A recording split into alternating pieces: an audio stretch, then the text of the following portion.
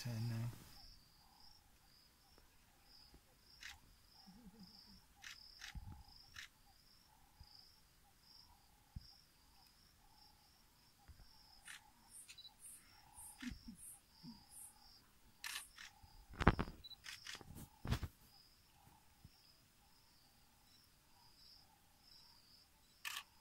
That's not fair, two onto one.